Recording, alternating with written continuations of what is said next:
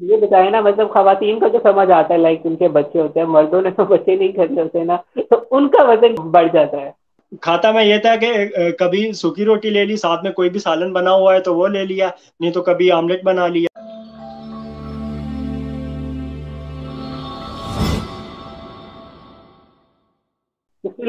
रहीम अस्सलाम वालेकुम तो आज हमारी एक वेट लॉस स्टोरी है। थैंक यू सो मच आप लोग इतना ज़्यादा सपोर्ट कर रहे हैं वेट लॉस स्टोरीज को। मैं अभी तक दो लोगों की वेट लॉस बल्कि तीन लोगों की वेट लॉस स्टोरीज शेयर कर चुका हूँ और आप लोगों का बहुत अच्छा रिस्पॉन्स आया है। मेरा मकसद भी यही होता है कि आप लोगों की मोटिवेशन हो। अगर आपने फिर किसी किसी शख्स ने वेट लूज किया है तो आप मेरे इंस्टाग्राम के ऊपर अपनी जो स्टोरी है उसको ज़रूर शेयर कर सकते हैं। मैं आपको ज़रूर मौका दूँगा अपने चैनल पर कि आप दूसरों तक अपनी जो स्टोरी है वो शेयर कर सकें। तो आज की स्टोरी बहुत स्पेशल है, हमारे बहुत प्यारे भाई हैं। शहजाद गदर उन्होंने 42 केजी वज़न कम किया है, जो कि बहुत एक बड़ी अचीवमेंट है। उन्होंने मेरे साथ अपनी वेट लॉस स्टोरी शेयर की, उनको कुछ प्रॉब्लम्स थे, मैंने उनकी हेल्प भी की। तो मैंने सोचा, क्यों ना आपसे उनकी जो स्टोरी है, वो शेयर की जाए। तो बगैर देर किए चलते हैं शहजाद ब्रदर की तरफ़। तो शहजाद ब्रदर कैसे हैं आप? जी अलहमदिल्ला उसामा भाई मैं बिल्कुल ठीक ठाक आप कैसे हैं? अच्छा ये बताएँ कि आप कहाँ से हैं और आपकी एज क्या है?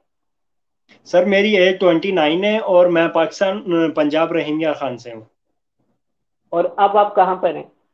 मैं अब यूएई में हूँ अबू जबी में। तकरीबन दो साल से मैं यूएई में हूँ। तो यहाँ पर आप क्या करते हैं? सर मैं इधर कुकिंग का काम करता हूँ घर में। ठीक। तो अच्छा ये बताएँ कि पहले आपका वेट कितना था और अब कितना है? सर पहले मेरा वेट था एक सौ बाईस के जी तो अभी अल्हम्दुलिल्लाह मेरा अस्सी के जी वज़न है। माशाल्लाह यानी आपने फोर्टी टू के जी वज़न कम किया। ऐसा ही है ना? जी भाई जी भाई। अच्छा ये कितना ही टाइम लग गया था आपको ये वज़न कम करते हुए? तकरीबन सर दस महीने लग गए मुझे। ठीक हो गया। दस महीने के अंदर माशाल्लाह आपने 42 टू के जी वज़न कम किया। बहुत पहले तो मेरी तरफ़ से बहुत मुबारकबाद आपको कि ये जी, बहुत बड़ी एक अप्लीसमेंट है। आप घर से दूर हैं किसी के पास काम कर रहे हैं तो बहुत मुबारक हो आपको। अच्छा ये बताइएगा कि सबसे पहले हम आपसे पूछते हैं कि रीजन क्या थी क्या वजह बनी कोई प्रॉब्लम आया जिसकी वजह से आपको वज़न कम करना पड़ा? सर प्रॉब्लम यही था कि मैं थोड़ा सा चलता था, मुझे सांस बहुत ज़्यादा चढ़ जाता था, मेरे से काम नहीं होता था और दूसरे नंबर पे नमाज़ पढ़ने में सबसे ज़्यादा तो नमाज़ पढ़ने में बहुत प्रॉब्लम होती थी। मैं आता ही हाथ में ज़्यादा देर बैठ नहीं सकता था नमाज़ के लिए तो बहुत प्रॉब्लम होती। थोड़ा सा चलता था, पैर में घुटनों में दर्द होती थी, पैरों की तलियों में दर्द होती थी, बहुत मुश्किल हो जाती थी मेरे से। और ज़्यादातर तो मेरे पीठ में बहुत दर्द रहती थी पीछे, बैक में। यानी आपको जिस्मानी प्रॉब्लम शुरू हो गई फ़िज़िकल प्रॉब्लम जी जिस्मानी प्रॉब्लम शुरू हो गई थी मुझे। अच्छा तो ये तो प्रॉब्लम हो गए। तो अच्छा फिर बताएँ कि डाइटिंग की तरफ़ कैसे आप आए और डाइट क्या स्टार्ट की क्या रूटीन शुरू की? सर शुरू में तो मैंने डाइट जो है वो तकरीबन नॉर्मली रखी है। उसमें मैं वीडियोस देखता रहा हूँ और नेट पे वीडियो वगैरह देखता रहा हूँ और आपकी वीडियो देखता रहा हूँ। मैंने अपना आपको डाइट में कंट्रोल किया। डाइट में यह है कि सुबह जिधर मैं पराठा लेता था या चाय लेता था चीनी वाली, वो चाय चीनी वाली मैंने बंद कर दी और पराठा जो है वो बंद कर दिया। और उसमें सूखी रोटी खाने लग पड़ा मैं। तो दोपहर दोपहर में भी यही था। अगर मैं मतलब जिधर आगे दो रोटी या तीन रोटी खा जाता था, उधर उसको मैं आस्ता आस्ता एक रोटी पे ले आया, डेढ़ रोटी पे ले आया। शाम को भी यही रूटीन थी जिधर दो से तीन रोटी खाता था उधर शाम को भी मैं एक रोटी आधी रोटी खाने लग पड़ा। साथ में सलाद ले लिया। और चीनी मैंने बिल्कुल छोड़ दी। बाहर का खाना तो मैंने बिल्कुल ही बंद कर दिया। मतलब जैसे बंदा वो ठेले वगैरह से खाता है ना समोसे पकौड़े चिप्स वगैरह वो बहुत यानी मैं खाता था बाहर से लेकिन वो मैंने बिल्कुल बंद कर दिया। मतलब आपने पोर्शन कंट्रोल इसको हम पोर्शन कंट्रोल कहते हैं बेसिकली कि जो आप डाइट ले रहे हैं उसी में से जो डाइट को कंट्रोल करना है ठीक है? तो आपने ऐसा बेसिकली पोर्शन कंट्रोल फॉलो किया। अच्छा आप ये बताएँ जैसे आप बता रहे थे कि आपने चीनी को छोड़ दिया उसके साथ साथ तली या शाहीन को छोड़ दिया। तो अच्छा ये मुझे थोड़ी सी अपने दिन की एक रूटीन बताएँ कि आप सुबह किस तक उठते थे और रात तक क्या क्या खाते थे? थोड़ा सा एक्सप्लेन कर दें कॉमन लोगों के लिए। खाता मैं ये था कि कभी सूखी रोटी ले ली साथ में कोई भी सालन बना हुआ है तो वो ले लिया नहीं तो कभी आमलेट बना लिया। चाय लेता था हम्म। कभी कभी दूध वाली लेता लेकिन ज़्यादा तो मैं ब्लैक टी पीता था।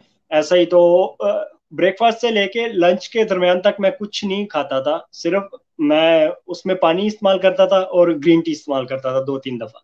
तो लंच लंच में और लंच में सलाद लेता था सलाद में खीरा ले लिया और साथ में दही ले ली। तो चावल कोई भी बने हुए हैं तो उनको थोड़ा से थोड़े से चावल ले लिए साथ में चिकन हो बीफ हो फ़िश बनी हो जो भी हो वो वो थोड़ा सा ले लिया। तो खाने से पहले पानी जी प्रोटीन इस्तेमाल करता रहा और खाने से पहले जो है, वो पानी पीता था मैं। तो खाने के बाद तकरीबन डेढ़ घंटा, डेढ़ घंटे तक, दो घंटे तक भी मैं पानी नहीं पीता, बल्कि कोई चीज़ ऊपर से चाय भी नहीं पीता था। फिर मैं असर की नमाज़ पढ़ के ग्रीन टी का एक कप बनाता था सर। और साथ में ड्राई फ्रूट ला के रखे हुए थे, बादाम हो गए, पिस्ता वगैरह हो गया। तो ये ला के रखे हुए थोड़े से वो ले लेता था साथ में। तो उसके बाद फिर नमाज़ पढ़ नमा, मगरिब की नमाज़ पढ़ के आके मैं अपना शाम का जो मील था वो ले लेता था। उसमें क्या करता था ब्राउन ब्रेड का एक स्लाइस ले लिया उसमें सलाद सलाद ले लिया साथ में थोड़ा सा। तो कभी आमलेट बना लिया।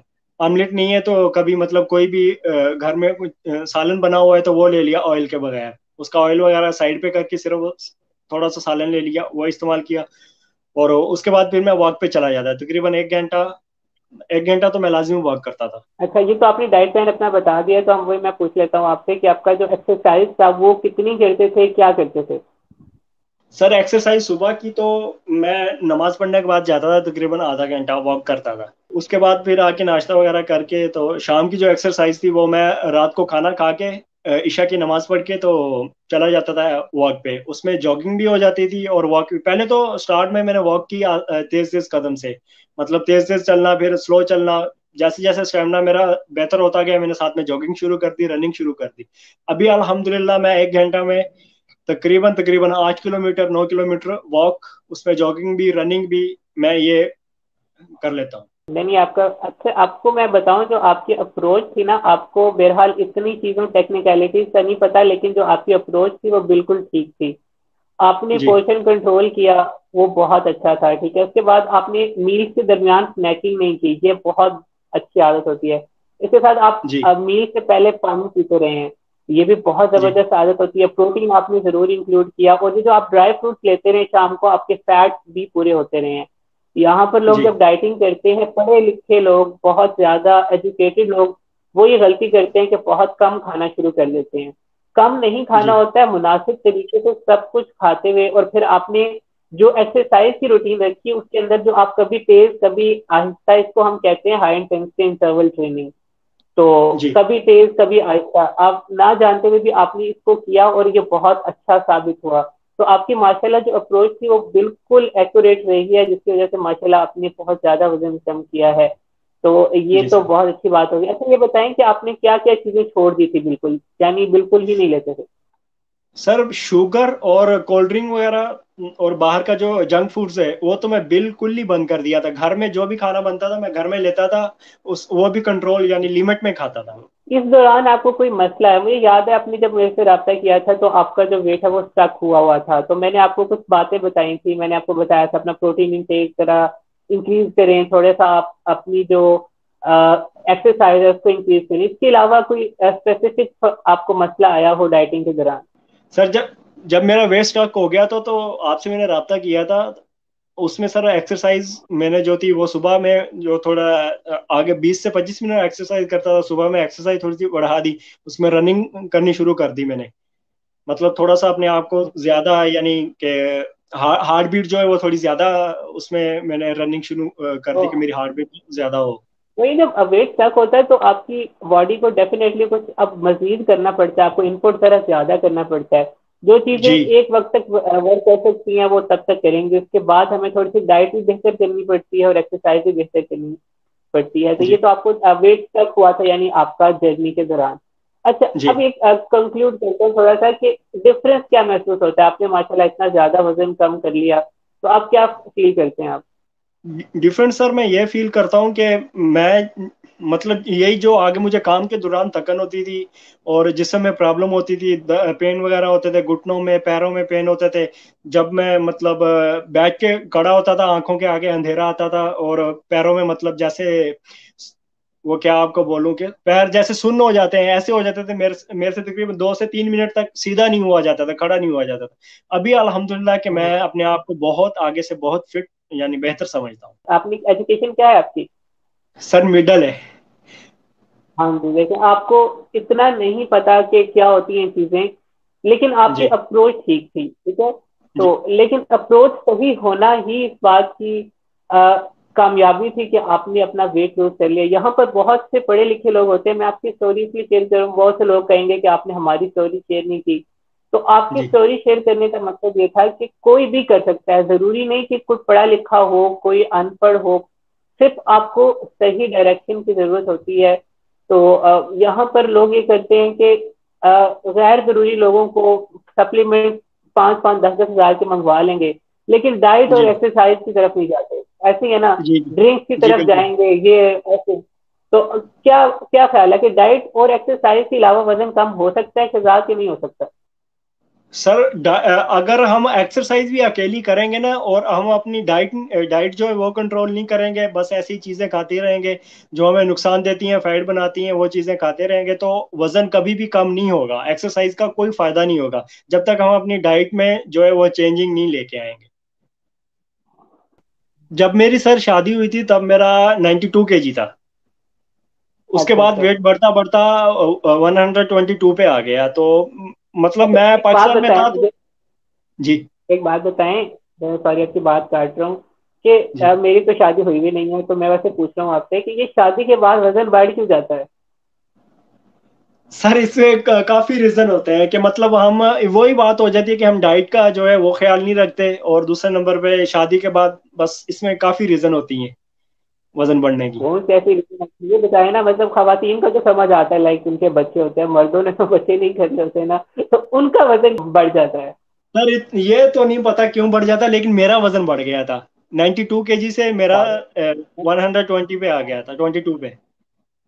मैंने यही देखा ज़्यादातर हमारे मेरा ख्याल है वो अपनी फ़िक्र करना छोड़ देते हैं ना बस शादी हो गई तो उसके बाद बस अब क्या मतलब करना है। मुझे सच्ची बात अब बहुत ज़्यादा आपके साथ बात करके खुशी ये हुई कि आपका जो अप्रोच है देखिए मैं मेडिकल फ़ील्ड से हूँ लेकिन आपको भी वो बातें समझ आ रही हैं जो कि मुझे समझ आती हैं जो मैं लोगों को बताना मेरा ये चैनल बनाने का मकसद ये है कि आप जैसे लोग जिनको कुछ नहीं पता या नहीं पढ़े लिखे उन तक सही बात पहुंचाई जाए। और मुझे बड़ी खुशी हो रही है कि आज एक ऐसा बंदा जो कि सिर्फ़ एक मिडिल पास है उसको बहुत अच्छी न्यूट्रिशन के बारे में पता है उसे पता है क्या अच्छा है और क्या बुरा है। तो शहजाद बहुत मुबारक हो आपको मेरी तरफ़ से मेरी ऑडियंस की तरफ़ से। बहुत अच्छा लगा आपके बात। आपने इसी तरह अब इसको मेंटेन भी करके रखना है और इसी तरह और लोग अगर किसी को हेल्प चाहिए हो तो आपने अच्छी तरह उसको गाइड भी करना है। ये थे हमारे आज के जो गेस्ट शहजाद यूई से थे इनकी स्टोरी शेयर करने का मकसद ये था कि पढ़ा लिखा होना लाजमी नहीं है। अप्रोच सही होनी चाहिए। जो सही अप्रोच फॉलो करता है, वो अपना वज़न कम कर लेता है। तो अगर आपको भी अपनी स्टोरी शेयर करनी है, आपने भी कुछ अचीव किया है तो आप ज़रूर इंस्टाग्राम पे मुझे मैसेज करें। अगर आपने भी हेल्दी तरीके से वज़न कम किया होगा तो मैं आपकी स्टोरी ज़रूर शेयर करूँगा। तो ये स्टोरी शेयर करने का बस मकसद ये था कि कोई भी स्टोरी शेयर कर सकता है इस चैनल के ऊपर। ज़रूरी नहीं है पढ़ा लिखा हो, पढ़ा लिखा नहीं हो। जो भी अच्छे तरीके से वेट लूज करेगा, मैं उसे ज़रूर अपॉर्चुनिटी दूँगा। अगर आप चैनल सब्सक्राइब करना चाहें तो आप वो भी कर सकते हैं। अब ऐसे मैं कहता नहीं हूँ, इतना सब्सक्राइब करने का मुझे बड़ा ऑकवर्ड सा लग रहा होता है। शुरू में मैंने बहुत पहले कि मैं नहीं कहता हूँ कहता हूँ जिसने करना होगा वो कर लेगा। तो अगर स्टोरी शेयर करना चाहें ज़रूर कर सकते हैं।